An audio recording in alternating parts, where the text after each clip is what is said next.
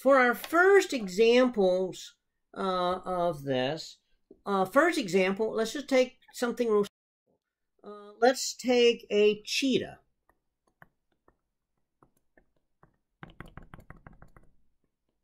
Okay, so we take a cheetah. Uh, average adult male cheetah has a mass 115 kilograms. Cheetah is one of the fastest uh, land animals, so it can go from from zero uh, up to uh, 29 meters per second, and it can do that in 4.1 seconds. And so, uh, question is, what's the average power output of a cheetah when it's doing this? And so, well, power, average power, so average power is going to be the change in energy over time. Well, the only kind of energy we've talked about is kinetic energy, the change in kinetic energy over time. And so uh, change in kinetic energy, we start at zero, we end at one half mv squared over time. And so uh, this gives us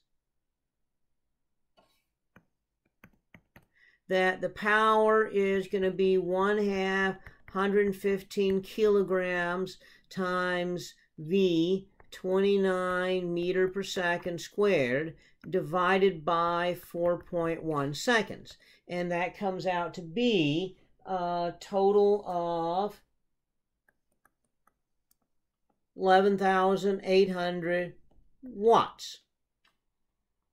Well, if you convert that,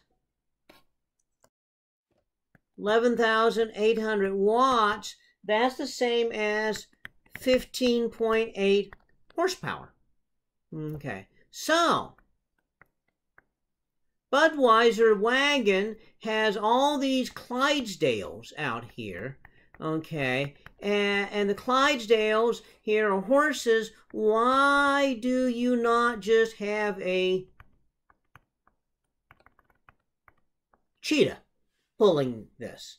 Okay, if a cheetah has almost 16 horsepower, well, for one thing, cheetahs are cats, and it's really hard to make them do what you want them to do.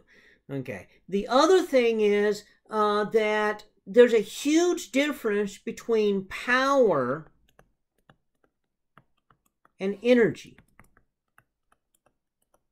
Power is the rate of change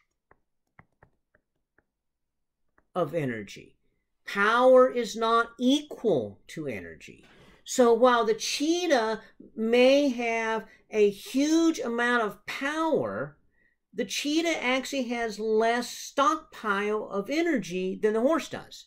And so that means that that the cheetah expends itself very, very rapidly. Uh, in fact, if uh, uh, cheetahs are very, very fast and and they, they achieve very high velocities very quickly, uh, but they cannot sustain it more than a few seconds, and then they're worn out and they got to stop. So they, they, they, they take off after a gazelle. If they don't catch the gazelle, you know, within a few seconds, then the cheetah has to stop and rest. And uh, whereas the horse can keep exerting a horsepower for all day.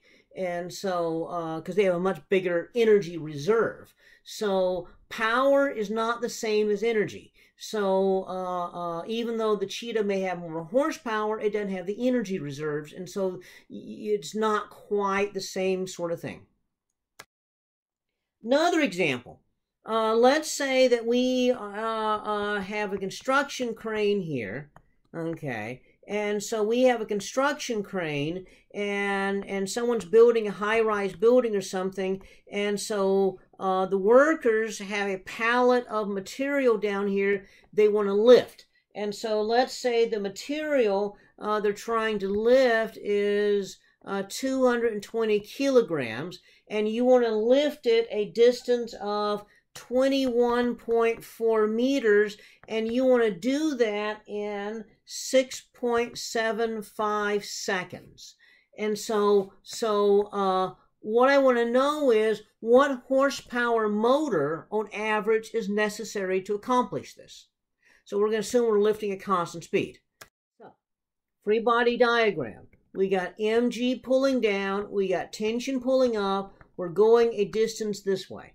Okay. Now, if we're going at constant speed, now if we're not going constant speed, it's more complicated.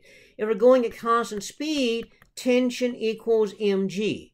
Okay. And so that means that the work done uh, uh, is going to be mgx. Now remember, the work is the change in energy. Power is the rate of doing work. So that means that average power, change in energy over time. So the average power for the crane would be mgx over time. And so that would be uh, 220 kilograms, 9.81 meter per second squared, uh, 21.4 meters. Divide by 6.75 seconds. And so that's 6840 watts. So that is 9.17 horsepower.